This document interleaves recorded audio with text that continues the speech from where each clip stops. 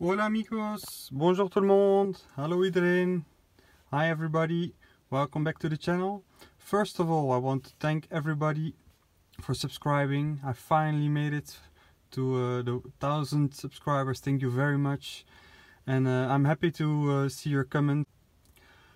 Donc, dans ce vidéo, vous rappelez que euh, j'ai installé euh, récemment les aérations à l'arrière plus la prise USB sauf petit problème la prise USB apparemment était défectueuse. Donc voilà euh, j'ai été euh, remboursé pas de problème j'ai commandé une nouvelle toujours sur AliExpress.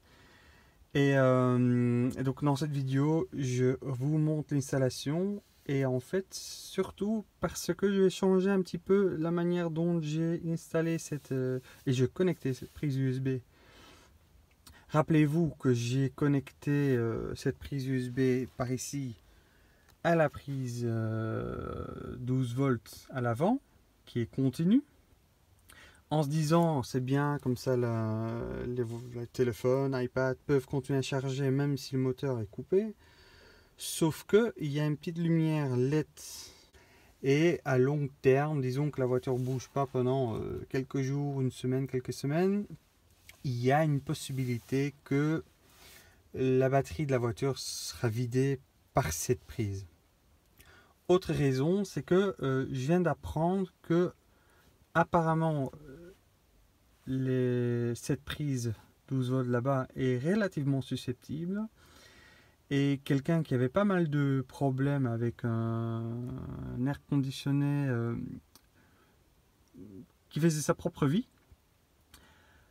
il s'avère que c'était une prise euh, chinoise branchée dans cette prise 12 volts qui euh, perturbait le système. Donc je préférais d'enlever ma, ma, prise USB et de relier les câbles comme c'était.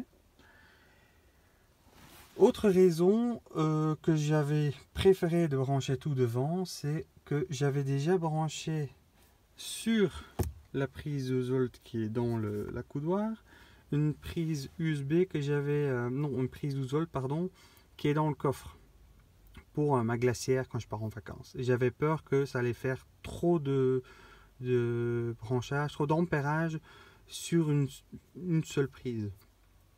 Mais j'ai fait mes calculs et il s'avère que euh, ma glacière, qui doit être le plus puissant que je puisse mettre sur ma prise 12 volts à l'arrière, ne prendrait que 4 ampères. Les prises euh, USB qui sont fast charge, donc c'est 4,2 ampères, mais qu'à 5 volts. Donc en gros, si on fait le calcul, ça vous revient à 1 ampère maxi et encore si la prise en est capable. Et puis j'ai toujours ma prise USB dans la coudoir qui alimente la dashcam que vous voyez là, la Autobot Eye que vous pouvez euh, voir ou que vous avez déjà vu dans une autre vidéo. Et euh, une prise euh, iPhone qui traîne toujours par ici pour madame. Donc voilà, mais donc le calcul fait, ça fait 4 ampères pour la glacière à l'arrière, un seul ampère ici, si jamais on charge les deux iPads à l'arrière, si on est sur la route, plus les deux prises USB là, bah, disons que on est toujours à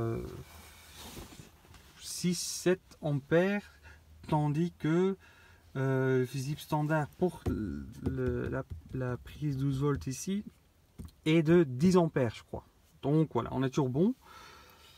Ce que je vais faire, je vais brancher cette prise USB que je viens de recevoir avec une fusible entre.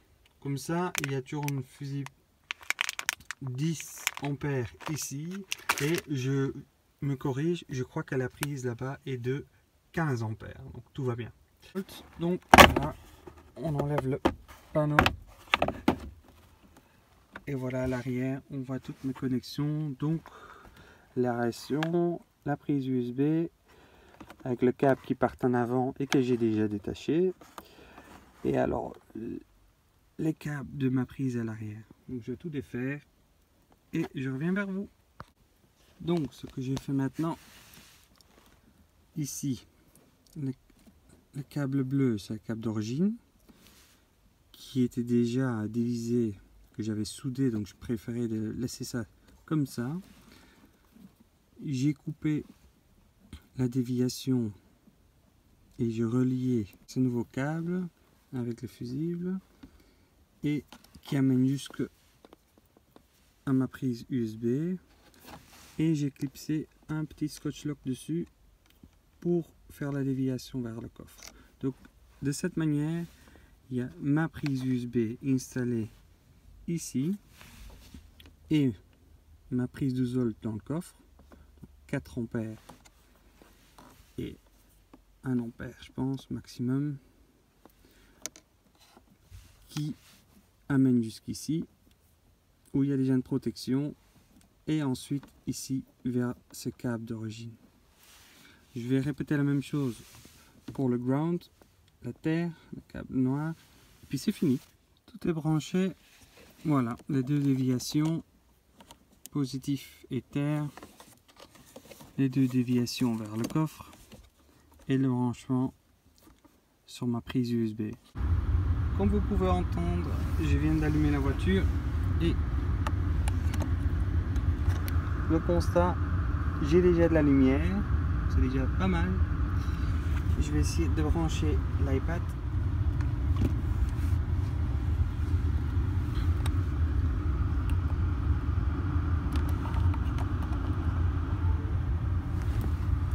Voilà, l'iPad réagit comme vous voyez, une petite lumière. Les deux portes marchent Nickel, je suis très content. On va voir dans le coffre si tout va toujours bien. Donc voilà, j'ai pris une petite prise USB pour mettre. Déjà, on voit la lumière bleue. Je sais pas si vous voyez le reflet. En tout cas, il y a le... voilà, il y a le témoin qui s'allume. Et pour vous rassurer, ici ça marche aussi toujours nickel. Voilà, encore une fois, un grand merci pour euh, votre fidélité. Laissez-moi des commentaires sous la vidéo. Et euh, à très bientôt. Thank you everybody for watching. Please leave a comment. And uh, if you prefer, I uh, do videos in English or in Dutch. Uh, just let me know. Bye bye.